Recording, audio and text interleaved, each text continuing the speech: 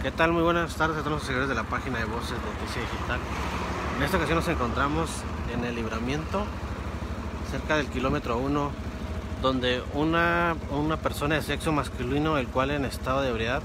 se queda dormido en las vías del tren, donde asimismo, al pasar el tren, eh, no se percató y con la atropella el, a la persona, asimismo agarrándole el pie izquierdo, por lo cual en este momento se hizo una fuerte movilización por los paramédicos de Cruz Roja Urge para brindar mayor atención, ya que la persona pudiera decirse que casi le destrozó el pie izquierdo, donde alcanzó en el reflejo a quitarse, pero no alcanzó a a quitar el, pie, por lo cual eh, uno de los vagones alcanzó a agarrarle el pie izquierdo. Así mismo en este momento, eh, paramédicos de Urge está dándole mayor atención y trasladarlo a un hospital.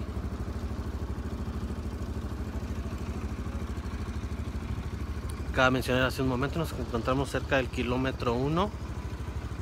en el libramiento Juan Pablo II, donde una persona de sexo masculino en estado de ebriedad se quedó dormido cerca de las vías donde al pasar el tren em, le agarró el pie izquierdo casi amputándoselo por lo cual en este momento está siendo atendidos por paramédicos de Urge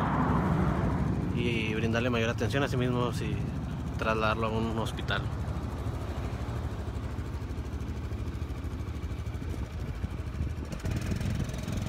Asimismo bajo el, vagón quedó el zapato de la persona.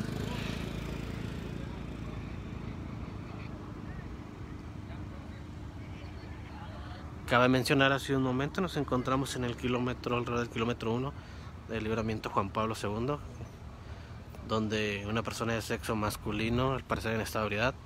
se encontraba cerca de las vías del tren, por lo cual eh, al pasar el tren no se percató o pudiera hacerse que no hizo la frenada rápida por lo cual le agarra el pie izquierdo así mismo casi amputándoselo en este momento está siendo atendidos por paramédicos de Urge para trasladarlo a un hospital de pudiera ser de capital.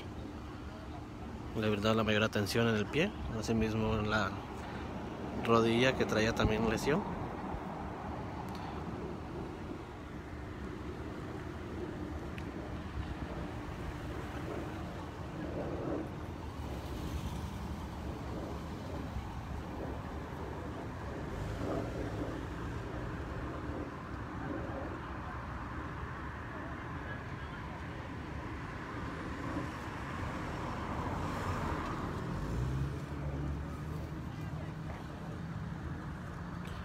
Muchas gracias a todas las personas que se conectaron, nos mantendremos informados.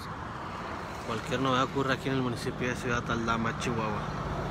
Que tengan muy buena tarde. Hasta luego.